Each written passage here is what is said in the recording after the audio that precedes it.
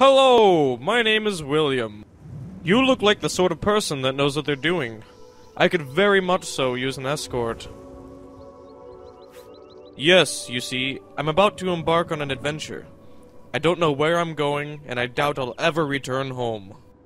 Actually, I know where I'm going, just not where I'll end up. Let me explain. About a week ago, a portal opened up outside Cheydinhal. At first, people were afraid of it, but nothing came out of the portal. The Count asked for volunteers to scout it out, and only one person took to the call. She hasn't returned.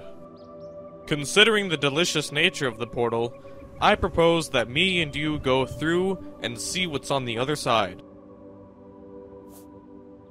Oh, yes, I did mention that, didn't I? The portal is made of candy. Delicious, delicious candy. So what say you? Would you like to go on an adventure? An adventure that could change the lives of me, you, and potentially countless others? Not that there's any pressure, of course. Oh, how unfortunate.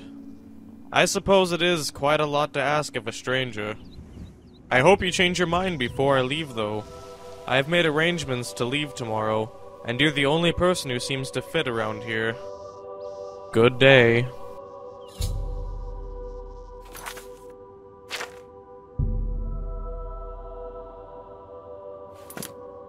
What can I do you for?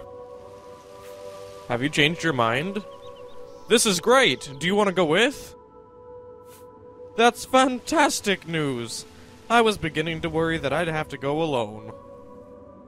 Oh, you have made my day. Here, have a piece of candy. I got it by the portal. It's quite delectable. You should prepare. Take as much as you can with you. Wherever we go, I am certain you can store your things there. Also, you may want to take some food with you. Apples, corn, beef, and the sort. From the look of the portal, I would guess there's not much variety. Come talk to me again when you're ready to embark. What can I do you for?